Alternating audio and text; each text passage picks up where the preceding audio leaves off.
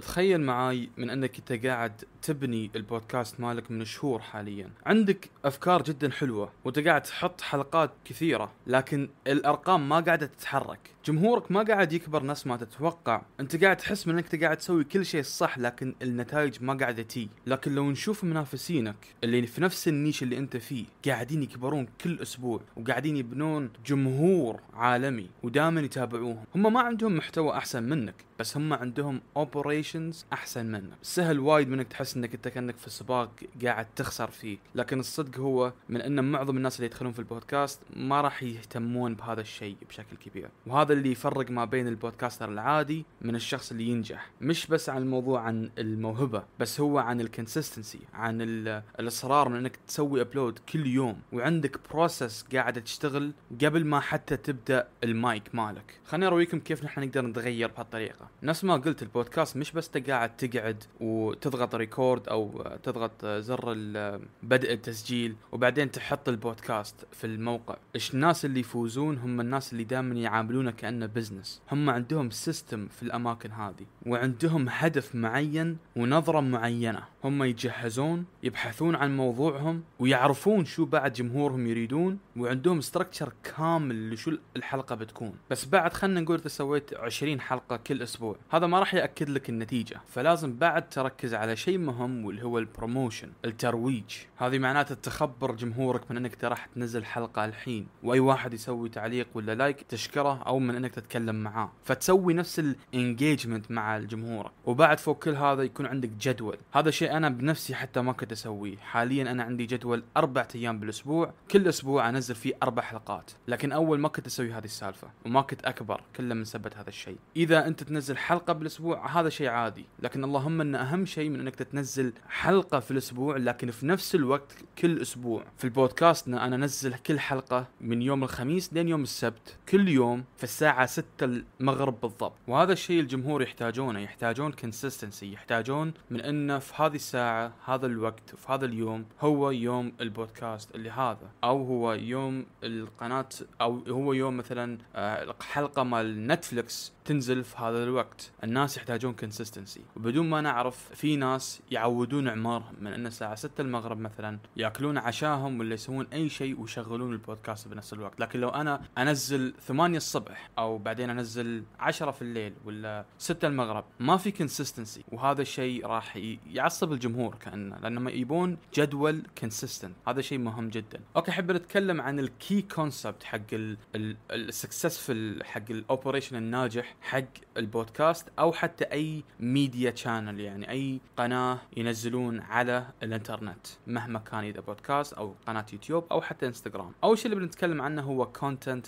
batching واللي هو معناته تجميع المحتوى. من نفس ما أنت سامع تجميع المحتوى هو عبارة عن من إنك أنت تاخذ لك يوم كامل ولا ست ساعات تسجل فيه أربع خمس حلقات في نفس الوقت وبعدين تسوي edit وبعدين تسوي schedule لهم تجدولهم على الأيام والساعات اللي أنت تريده. بدال ما إنك تتأخر يعني لين آخر ساعة من البودكاست content batching يساعدك بشكل كبير. نفس ما قلت لكم أنا أنزل حلقات من الساعة من من الخميس لين السبت في الساعة 6 المغرب. لكن أنا اللي أسويه هو من إني أقعد ثلاث ساعات ولا ساعتين مثلا في يوم الاثنين ولا في يوم الثلاثاء وأسجل الأربع حلقات هذه كلها مع بعض وبعدين أسوي أجدولهم من إنه ينزلون في هذا الوقت. وهذا شيء يساعدني بشكل كبير. فلازم تسوي لك عدة حلقات ولا عدة مثلا انستغرام post كله في نفس اليوم بعدين جدولهم الأسبوع كامل. هذه أحلى شيء تقدر تسويه. ثاني شيء هو ال editing وبعد من إنك أنت يكون عندك quality control في الموضوع. أنت هني يا إنك أنت راح يكون عندك فريق كامل أو من إن أنت عندك system قوي حق ال editing مثال كبير أنا أسجل في Audacity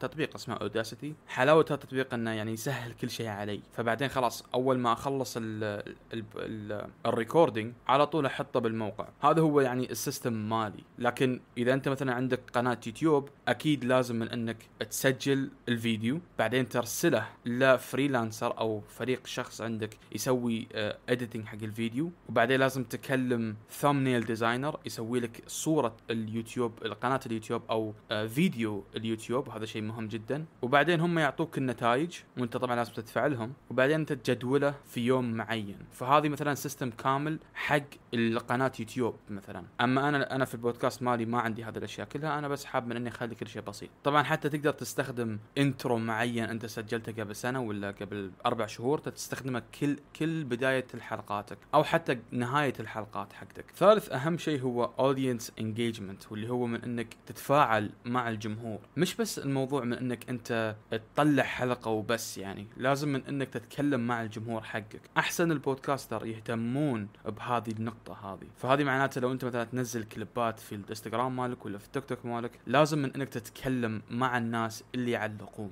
بهالطريقة أنت قاعد تسوي مجتمع جدا جدا مخلص لك ومخلص لمهمتك في هذه اليوتيوب أو في البودكاست أو لأي رسالة أنت تسويها لكن هم يكونون مخلصين لك وللبودكاست مالك أو لأي ميديا مالك. أوكي بما أني أنا قلت هذا الكلام كله خلني الحين أعطيك خطتك الأسبوعية اللي تقدر تسويها هذا الأسبوع على أساس من أنك تبني اللي تكلمنا عنه اليوم. أول شيء هو من أنه يكون عندك يوم كامل من أنك تسوي خطة عن ال content مالك كله. يعني هو content planning day بس يوم واحد وسوي عصف ذهني يعني brainstorm من إنك تسوي بحوث. ركز على شو الجمهور مالك يتكلمون ووين منافسينك يسحبون. يعني مثلا أنا ملاحظ إن كثيرين من منافسيني ما يتكلمون عن ال operations عن ال marketing عن ال sales وما يهتمون عن الأشياء الجدا صغيره بس يتكلمون عن يعني النجاح والسوالف بس يعني motivational أنا ما أداني هذه الأشياء ولهذا أنا سويت البودكاست هذا على أساس إنه يكون الموضوع جدا مركز على التكتيكات اللي يسوونها الناجحين طبعا بهذا اليوم أنت راح تكتب مثلا عشر حلقات ولا عشر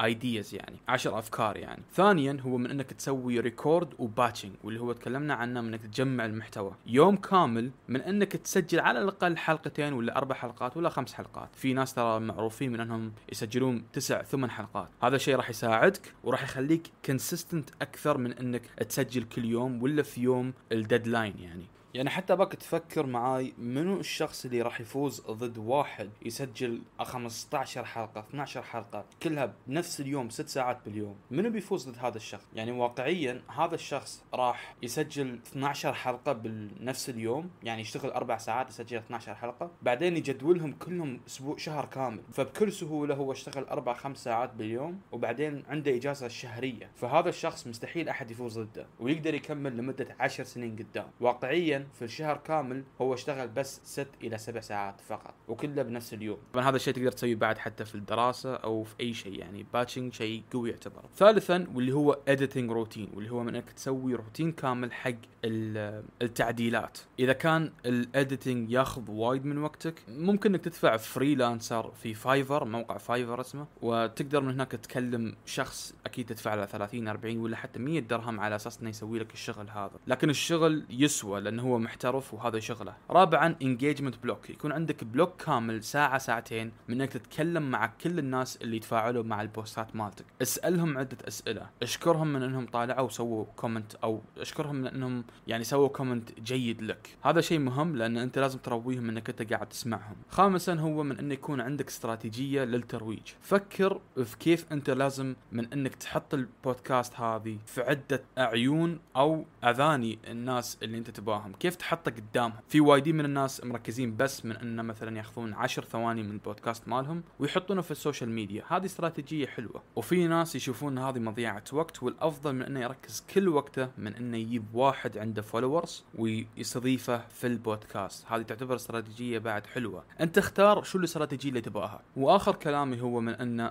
الصدق هو أنت تقدر إنه يكون عندك أحسن فكرة في العالم. لكن إذا ال operation مالك اللي تكلمنا عنه أنت ما عندك خطه كاملة البودكاست مالك ما راح يكبر نفس ما تتوقع لأن معظم البودكاستات يحتاج له من انه يكون عندك خطة عشر سنين قدام. لو أنا الحين قلت لك إن ال business مالك ولا قناتك في اليوتيوب ولا البودكاست مالك هل أنت ناوي من إنك تسوي هذا البودكاست وتتم فيه لمدة عشر سنين قدام؟ عيل لا تحاول تسوي بودكاست لأنه راح يكون جدا قاتل لك. حتى لمدة أربع خمس سنين ما راح تلاقي أي انتباه. لكن فجأة في السنة السابعة أنت راح تجيلك انتباه جدا عالي. فلهذا لازم من انك تبني ال operation مالك على أساس من انك تقدر من انك تكمل 10 سنين قدام بدون اي تعب. معظم الناس ما راح يسوون اللي تكلمنا عنه اليوم بس يمكن 1% من الناس اللي بيسمعون البودكاست راح يسوون هذا الشغل هذا. وفي وايدين من الناس بالنسبة لهم من ان البودكاست الناجح أو حتى اي business ناجح هو عبارة عن أو هذا الشخص كوميدي هذا الشخص يعني stand-up comedian هذا الشخص عنده كاريزما أو هذا الشخص